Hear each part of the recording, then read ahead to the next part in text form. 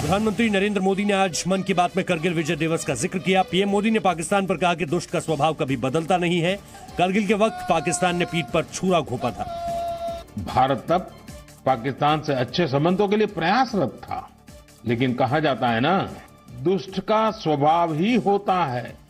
हर किसी से बिना वजह दुश्मनी करना। मन की बात में पीएम मोदी ने देशवासियों से चार संकल्प लेने को कहा। प्रधानमंत्री ने कहा देशवासी कोरोना से लड़ने, देश को आत्मनिर्भर बनाने, नया सीखने, सिखाने और कर्तव्यों का पालन करने का संकल्प लें। आज करगिल विजय दिवस की इक्कीसवीं वर्षगांठ पर रक्षा मंत्री राजनाथ सिंह और तीनों सेनाओं के प्रमुखों ने नेशनल वॉर मेमोरियल पर शहीदों को श्रद्धांजलि दी।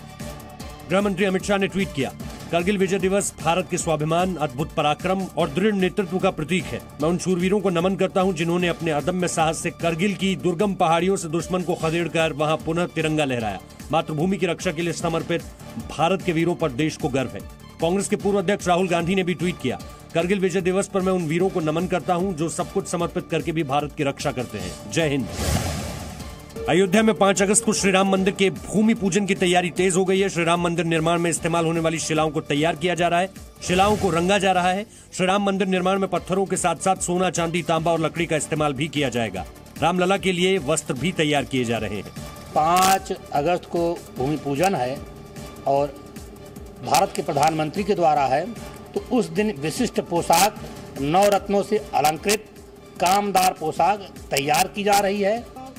भूमि पूजन में प्रधानमंत्री मोदी समेत कई मशहूर हस्तियाँ शामिल होंगी। मुख्यमंत्री योगी आदित्यनाथ के अयोध्या दौरे के बाद अब उप मुख्यमंत्री केशव प्रसाद मौर्य तैयारियों का जायजा लेंगे। वो राम जन्मभूमि क्षेत्र और हनुमानगढ़ी जाएँगे। राजस्थान की लड़ाई अब विधानसभा सत्र बुलाने पर आ गई है। अब तक मुख्यमंत्री अशोक गहलोत चाहते थे कि जल्द से जल्द विधानसभा सत्र बुलाया जाए ताकि वो बहुमत साबित कर सके। लेकिन अब राज्यपाल ने सहमति नहीं दी तो अब गहलोत सरकार ने कोरोना पर सत्र बुलाने का प्रस्ताव रख दिया है।